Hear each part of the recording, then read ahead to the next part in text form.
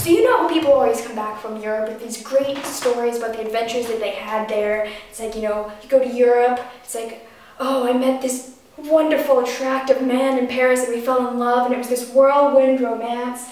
Let me tell you about the story that I have so far in Germany, but I need to dress myself. So, story time, guys.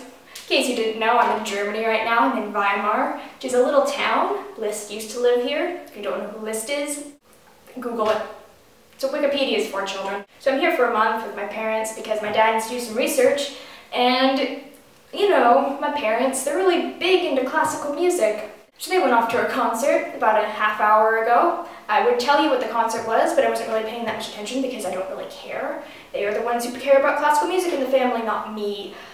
But, so they left me here figuring, well, we'll tell her what time to get on the bus. She will use her bus pass. She will go down to where our friend Birgit lives, and then we will all eat dinner there, and then we will go to see museums tonight, which will be great. Maybe I'll film something. Probably not. I'll take pictures though.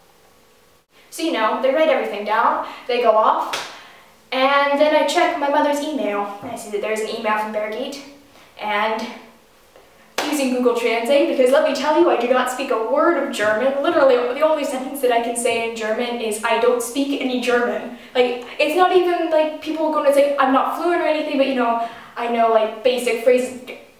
If I get lost, I'm screwed. I literally speak no German. I translate her email, and apparently, the bus runs on a different schedule on Saturdays, and it does on every other day of the week. And my parents didn't know that. If I'd gone down to the bus stop at the time they had told me, there would be no bus.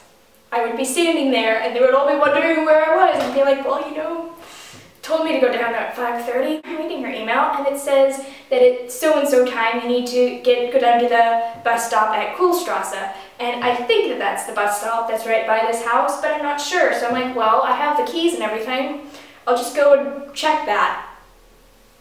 So Here's the thing. I don't know whether I'm just lock challenged or whether all European locks hate me, but I've already been having troubles with the locks to get into the door to the apartment. But you know, I managed to get out of the front door, I lock it, and then I go down to our gate, our back gate entrance in the wall, and I go out of that, and it locks on its own, and then you have a key and you're supposed to like turn the key, and then the gate will push open.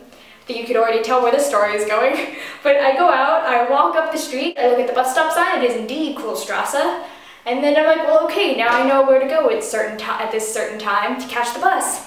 So I walk back and I take out my key, I put it in the lock for the gate, and I cannot open the gate at all. I'm just sitting there for five minutes, turning the key around and around, and the like the latch is changing, like you can hear it, the latch is releasing. The door isn't opening. So I stand there for a minute, and I consider the gate, then I turn slowly to my right, and I look at the wall, and I think, I can totally jump that.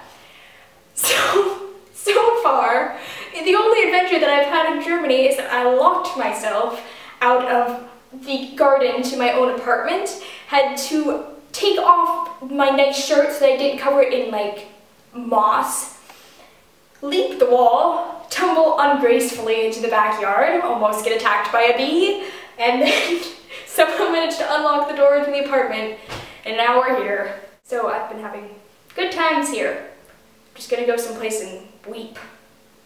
DFTBA. Let us step into the night and pursue that flighty temptress adventure. J.K. Rowling, Harry Potter and the Half-Blood Prince.